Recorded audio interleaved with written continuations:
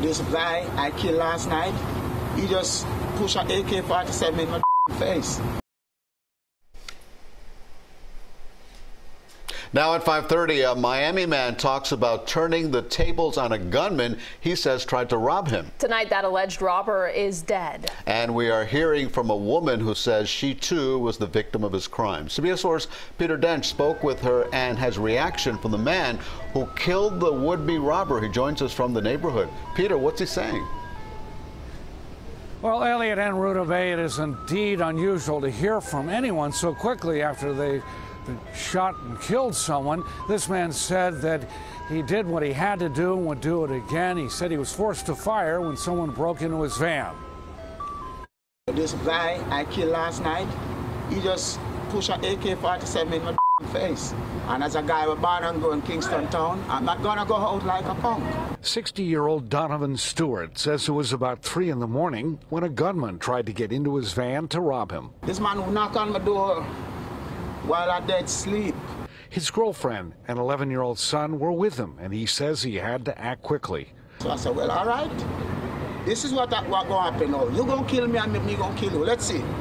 So quick thinking, quick reflex, I'm trained. I'm a security officer. I got a G license. I got a concealed weapon license. And I'm a member of the NRA. While he pushed the kid in my face, it was so close. I get the nozzle away from my face and I empty my Glock in, my, in my chest. He demonstrates what he did at Northwest 6th Court and 70th Street. When he fly my door open, the only thing he do is tuck the AK in my face. And my gun was right there and, in, and ah, what are you doing? And that's how I get him. Miami police officer Mike Vega says it appears this was self-defense. Um, everybody's cooperating, but we still need more information. It was a split-second decision.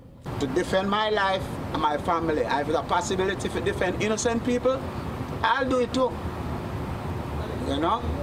You just don't wake me up in the morning and push a AK up my nose and think you're going to live. No. They tried the wrong person with that. Delilah Gator says the dead gunman had just robbed her Saturday morning of $600 in cash, her iPhone, and her VW. He had the gun and he forced me to open the door. I was very devastated and emotional. That's crazy. This man has a family. Like, why would you rob somebody that's living in a van? Now, in light of that case, Miami police tell us they're looking into previous robberies that the dead gunman may have committed.